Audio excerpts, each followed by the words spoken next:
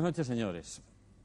Georgie Dan es este señor, nacido en Francia, que canta cosas como El Jardín de Alá y que quizás no sea un mal tema para presentar su personalidad artística. De manera que vamos a conversar con él y trataremos de perfilar su más completo retrato en vivo. Hola, Georgie, buenas noches. Buenas noches, Miguel, y buenas noches. Ya nos explicarás qué hace todo un músico como tú, metido en esta línea cómico-discotequera que acabas de presentarnos en El Jardín de Alá. Bueno, tampoco no es eso. Yo diría que es una canción eh, discotequera, por supuesto. Eh, pienso que tiene algo, una pincelada de humor, ¿no? Es una canción alegre, pero no creo que llegue hasta cómico.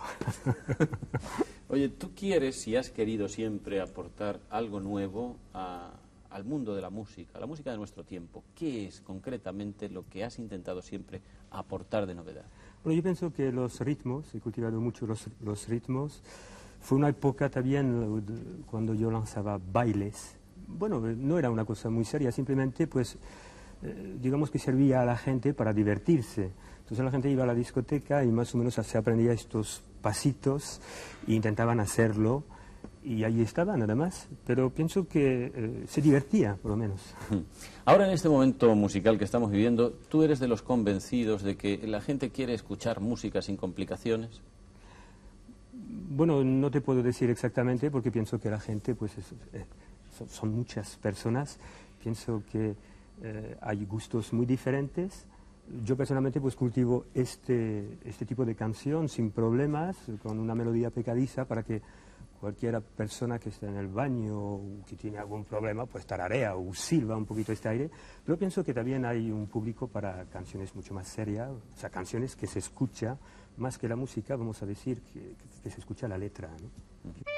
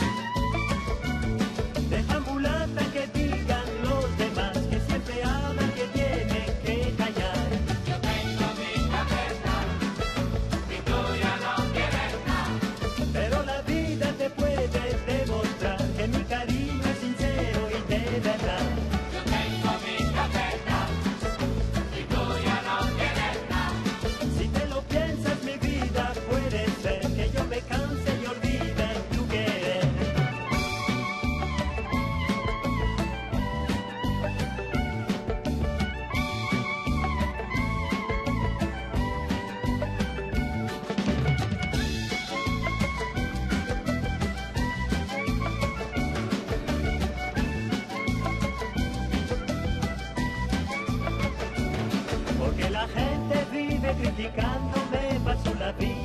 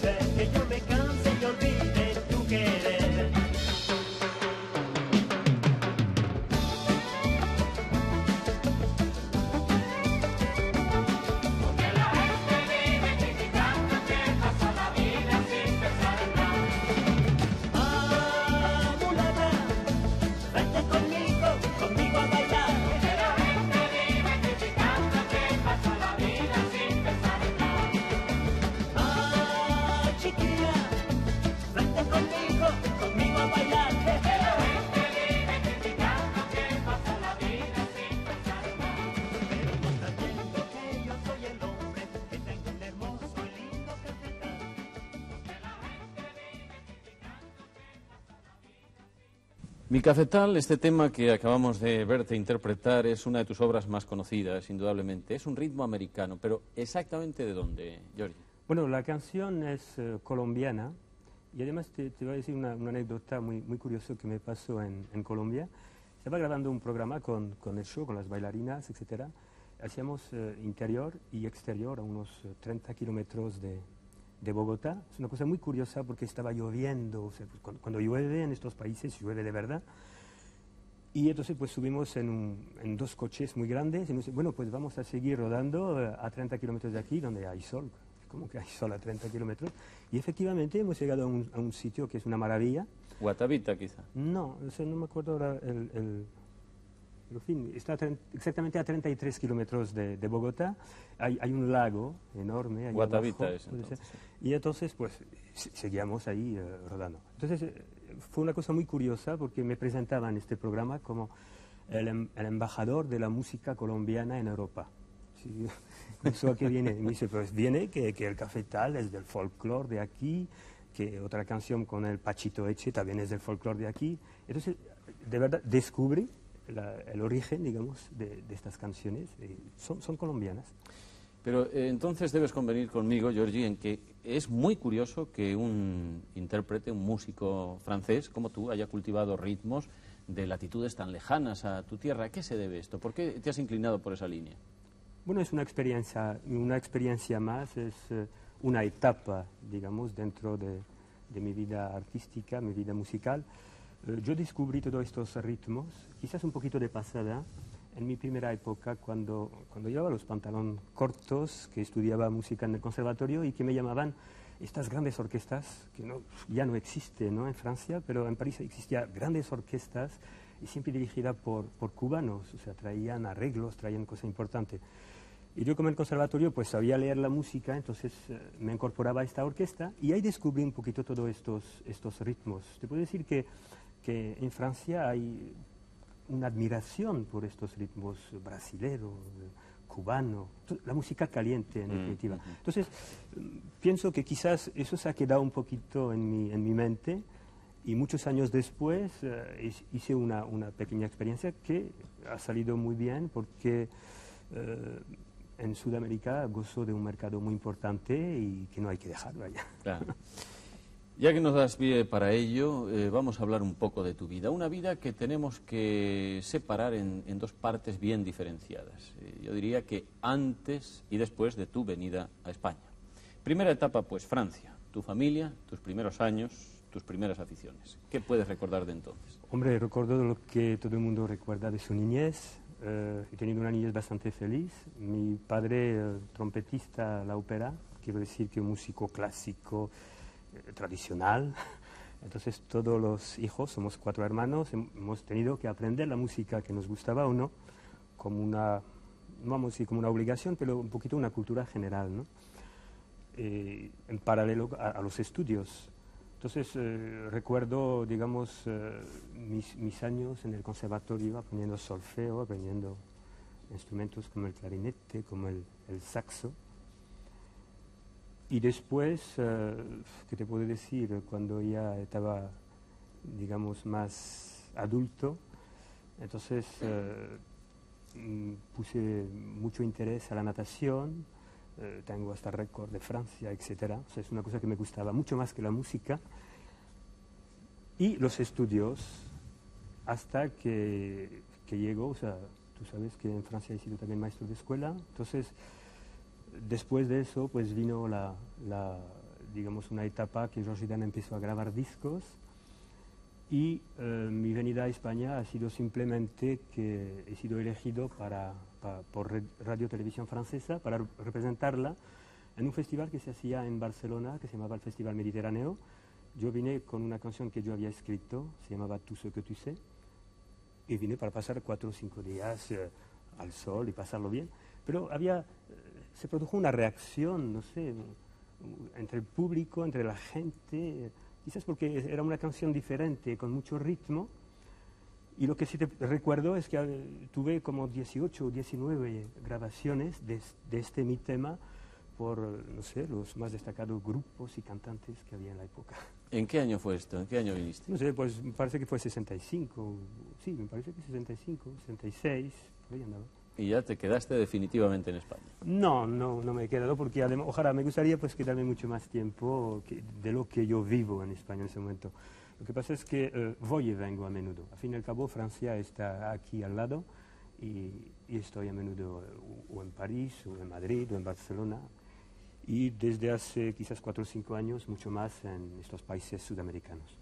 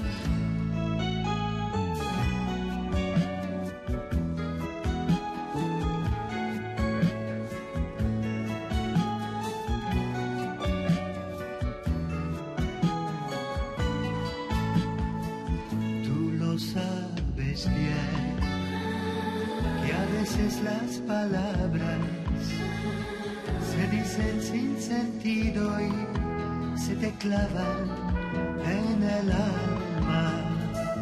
Me tocó perder, pero tal vez mañana despierte como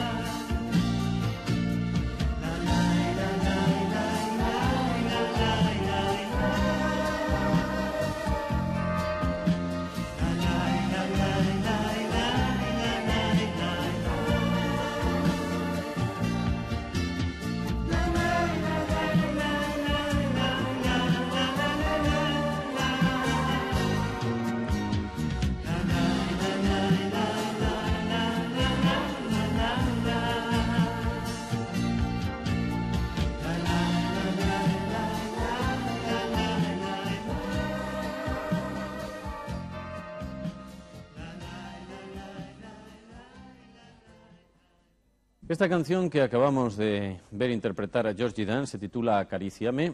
Es y representa una cierta ruptura con la línea argumental y artística habitual en nuestro invitado de esta noche, en George Dan. Es decir, es una canción melódica, una canción sentimental, algo completamente diferente en su repertorio. Me imagino, pues, Georgie, que esta canción eh, tiene una cierta historia. ¿Nos la cuentas? Bueno, ¿qué te voy a contar? Si ya le he cantado, la historia es una historia de amor, de calor, de, acercamiento, ¿no? Como yo digo. Quiero decir que es una historia muy bonita, es una canción que ha gustado a, un, a una superstar, digamos, de la canción hoy por hoy, y la tuvo como dos meses guardadas para grabarla, para ponerla en un disco, cosas que pasan, que después se enfrían un poquito las cosas, entonces a no, a no aprovecharla, pues yo pienso que es una canción que, que reúne muchas condiciones, tiene una melodía muy bonita, la letra pienso que la acompaña también, y he dicho que no voy a desaprovecharla, la puse en un LP y me está dando resultado en estos países sudamericanos. Eh, quiero decir que eh, es una cosa muy curiosa cuando estás en muchos mercados. Muchas veces una canción que no ves para, para un mercado eh, resulta que es un gran éxito en otro. ¿Quién era la estrella que, que, tuvo la canción y no la ha grabado? Dilo, dilo. bueno, pues es un amigo de todos, pienso yo, se llama Julio Iglesias. No ha querido grabarla al final. Bueno, tú sabes estas cosas que pienso que hay mucho compromiso y, en fin, es igual que yo, muchas veces tengo muchas canciones y a veces uno piensa que va a grabarla y después cambia, etcétera, etcétera. Son cosas que hay que hacer en caliente y si el tiempo pasa a veces se enfría, pero no pasa nada. Pienso que la canción está en disco y de una forma u de la otra pues va al éxito. Volvamos pues, eh, a la historia. Estábamos en París y has dejado dicho algo sobre lo que yo quiero insistir ahora. Fuiste maestro de escuela y tengo entendido, según algunos datos de tu biografía, que ahí dando clase a los niños es donde nació definitivamente tu vocación para ser cantante. Efectivamente, eso es cierto. Estuve como unos seis o siete meses eh, dando clase y eh, con cuatro niños de, de, mi clase pues hicimos un pequeño grupo ya empezaba a escribir canciones pero no canciones uh, de, que, que, los mayores escriben para que los niños la canten, no, sino que simplemente los problemas que existían en el colegio. Esta cosa que, que, el niño entra en la clase y ve siempre el coco, ¿no? El profesor, es una cosa... Entonces, he puesto todo eso en música y de una forma también totalmente desenfadada. Pero los problemas de verdad que tienen los niños. Estas cosas fue como una novedad, digamos, gustó mucho a, a programas eh, que había los jueves, por ejemplo, en, en, Radio Europa número uno, y desde ahí pues empezó el éxito. A raíz de eso es cuando vino una, una casa discográfica importante a preguntarme si no, si no tenía más canciones, pero canciones que yo podía cantar, eh, de otro estilo, etc. Entonces, recuerdo como hoy que estaba mi madre haciendo un, un pastel, entra este señor, me puso al piano y le canté, yo qué sé, 10, 12, 15 canciones, todo lo que más o menos pensaba yo que podía interesar. Y este señor, bueno, se tomó un café con leche, el pastel, etcétera, y dice, bueno, pues usted tendrá noticia mía de, dentro de, de, tres días. Se fue mi madre y me dice, bueno, uno más, ¿no? Que vienen aquí. Digo, pues sí, claro. Pues no fue tres días, pues dos días y medio después, una llamada telefónica y me invitó a si usted no tiene un grupo, no tiene amigos para hacer una pequeña prueba en un estudio. Le digo, sí, sí. Entonces llamé a mis amigos, fuimos, y ahí nací George Dan, y, en fin, un primer contrato, etcétera. Entonces cuando dejé totalmente la, la, enseñanza y me dediqué a eso. Pero tú eh, entonces ya eras músico de carrera, incluso según nuestras notas ya habías tenido un premio en el conservatorio como saxo, ¿no? Sí, eh, bueno, he hecho los estudios, digamos, eh, clásico y después lo que sí me llenaba de verdad era el jazz entonces, como en Francia y sobre todo por la noche había mucha cava de jazz, pues iba a disfrutar y a pasar dos o tres horas siempre llevando mi instrumento debajo del brazo y donde me dejaban tocar, pues mira, lo pasaba bien.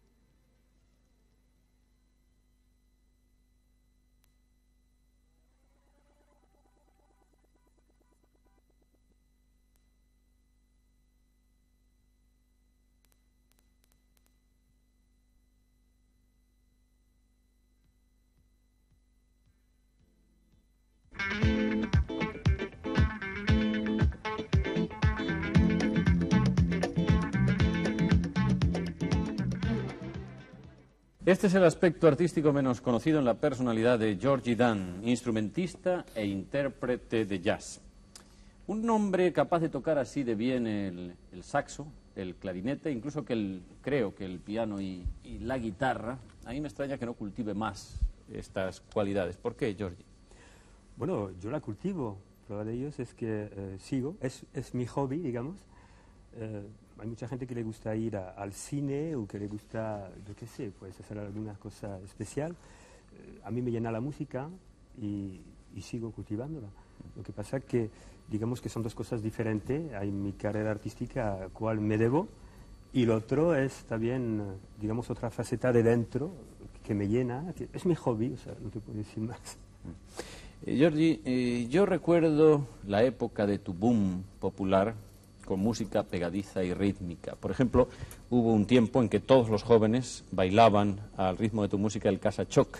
Sí, claro. Y luego aquella desdichada historia de Juanita Banana, que sería muy larga de contar, ¿no? Eh, Pero que tú ya sabes todo. bueno, si quieres insistir en ello, No, lo contamos no. de nuevo, ¿no? al fin y al cabo... No eh, quiero insistir, pero quiero decir que al fin y al cabo es cuando nos conocimos, cuando, cuando yo venía con mi disquito debajo del brazo a Madrid y todas estas cosas. Bueno, la historia ya saben ustedes, los celos, que si eh, Luis Aguilé, que si Georgie Dan eran el auténtico creador del éxito, pero bueno, en definitiva fue un éxito compartido por ambos, ¿no? Sí. Eh.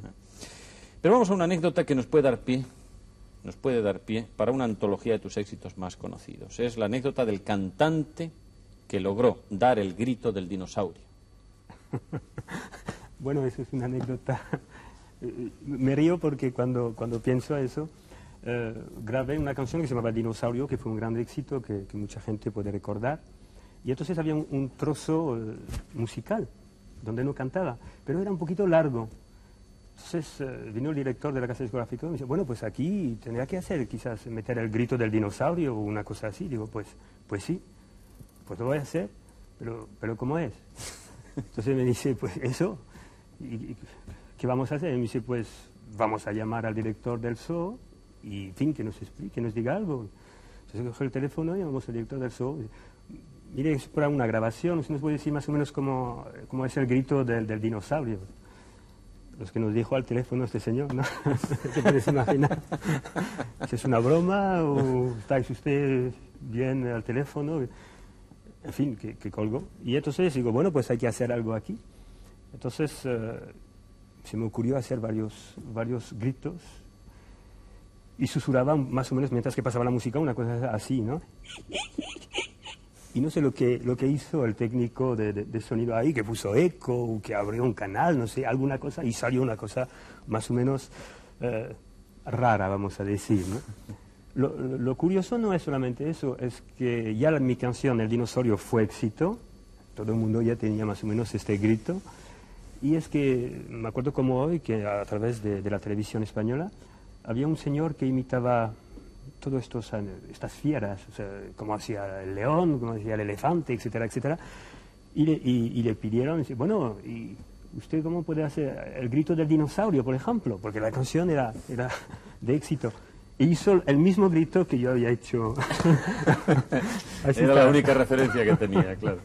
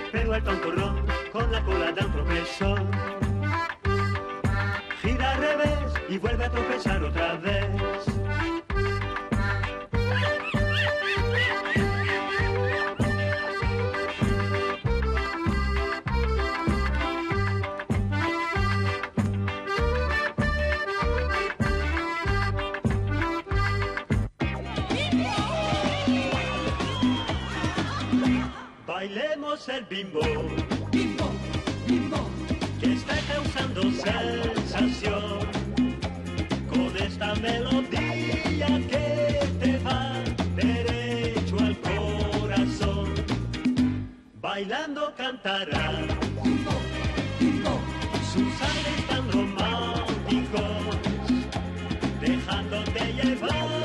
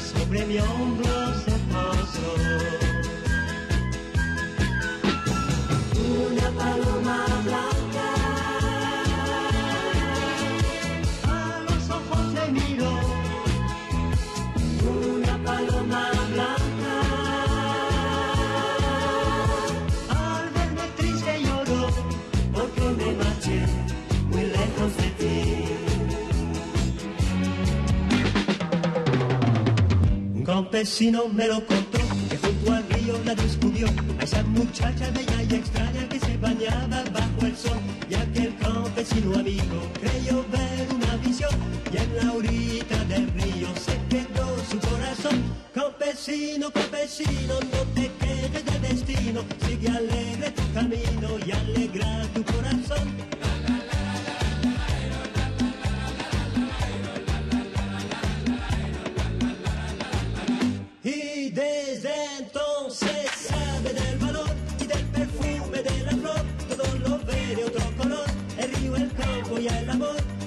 Piensa en regresar junto a la chica que le dio su corazón.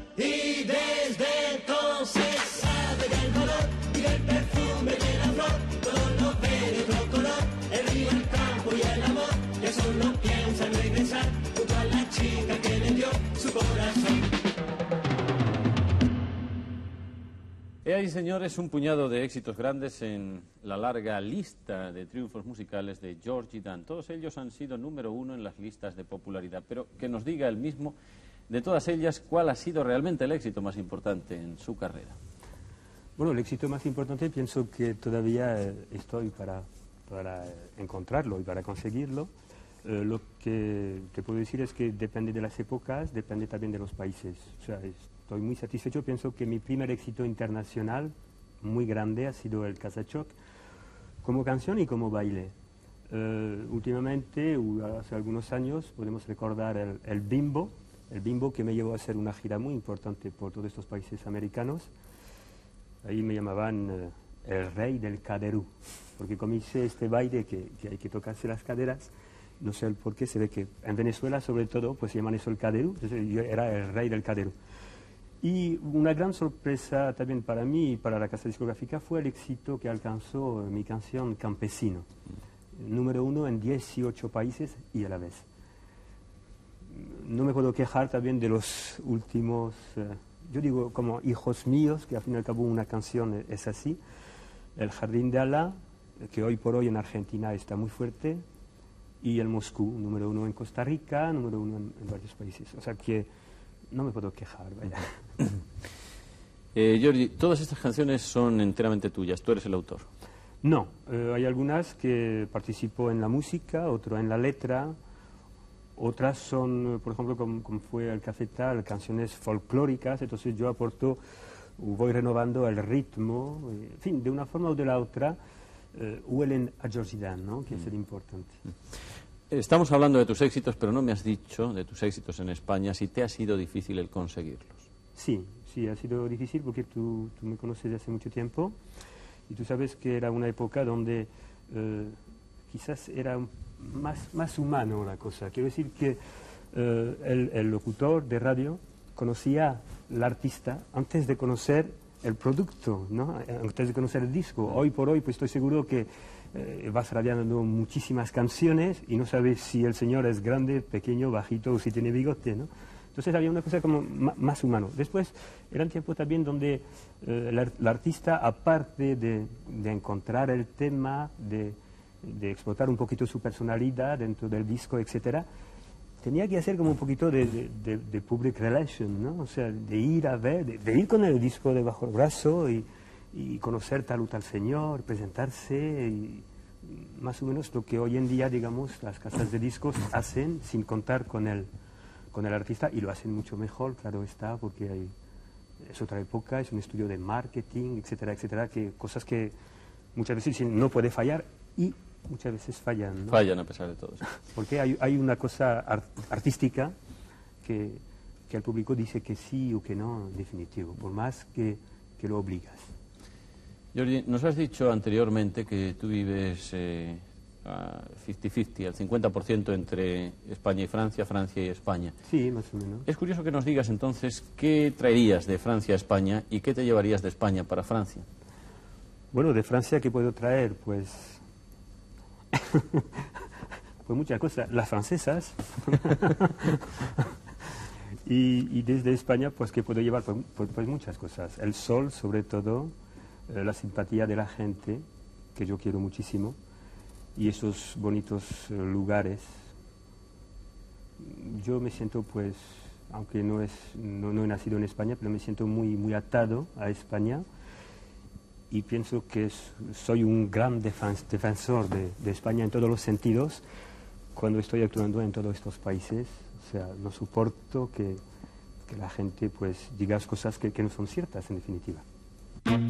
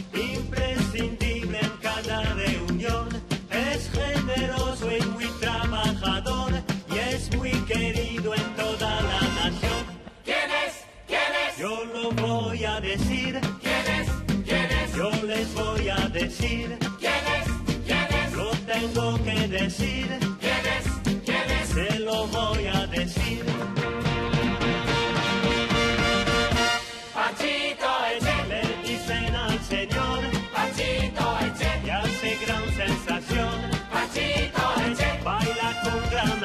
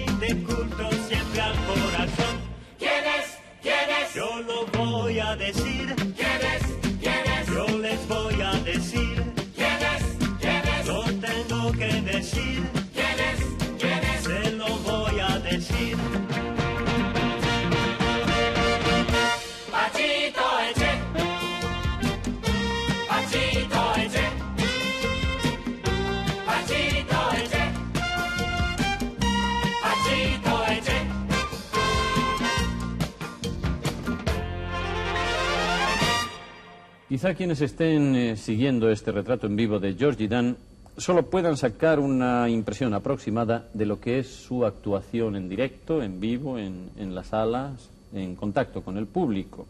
Porque Georgie es un hombre que, que no monta recitales, sino auténticos shows, espectáculos. eh.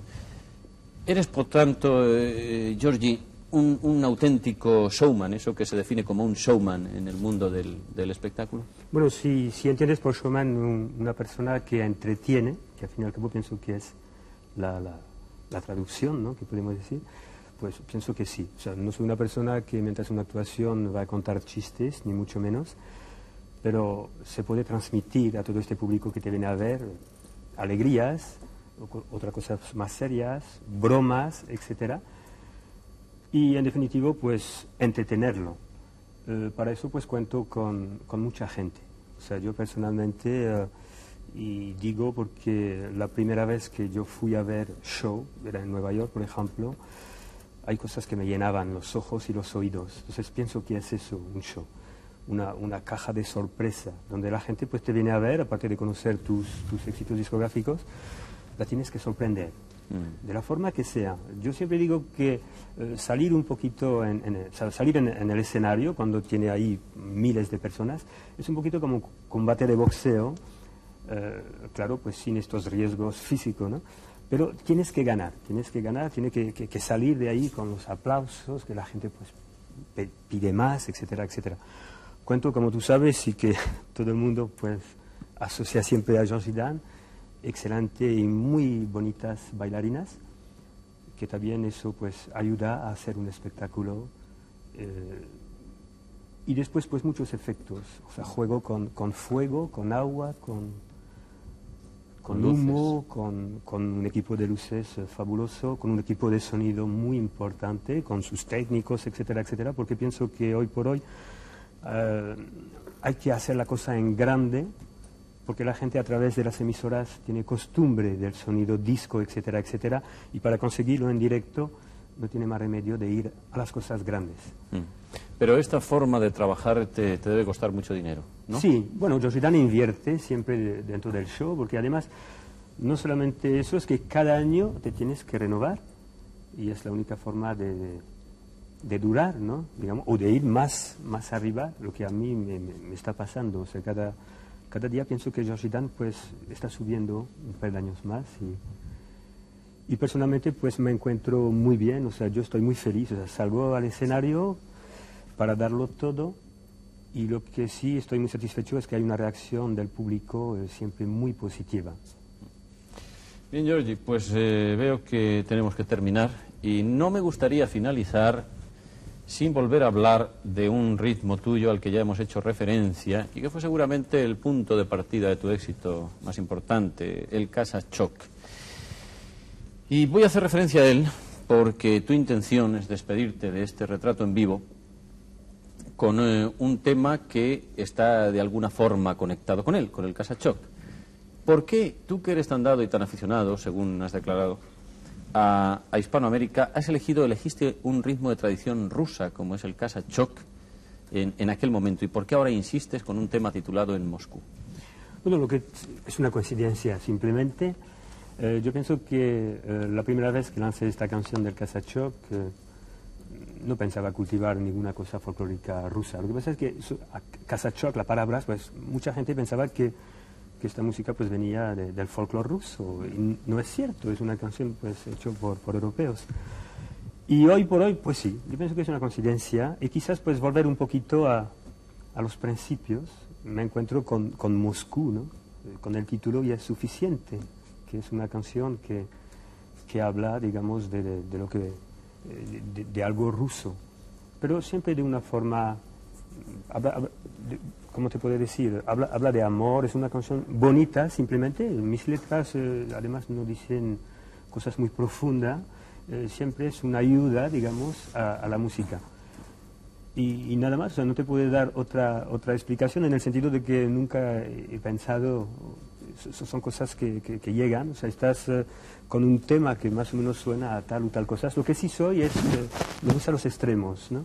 Me gusta, eh, cuando grabo un disco, pues eh, hacer lo que en este momento no existe en el mercado. Quiero decir que una canción rusa, pues sí, pues, pues no hay otra que yo pienso en este momento. Efectivamente. Señores, nada más. Este es eh, Georgie Dan. Un hombre que, aunque improvise tan eh, eficazmente como lo ha hecho hoy a lo largo de esta entrevista, de esta conversación, no deja nada a la improvisación a la hora de montar un espectáculo. Todo lo prepara meticulosamente. Su éxito es el producto de dos fuerzas que cuando se combinan debidamente suelen dar un resultado indestructible de cara al espectáculo. El talento y el trabajo. Eso es Georgie Dan. Muchas gracias por haber estado con nosotros, Georgie, y hasta siempre. Muchas gracias, Miguel. Muchas gracias de invitarme a tu programa y, como no, de estar con todos vosotros. Hasta una próxima ocasión, espero.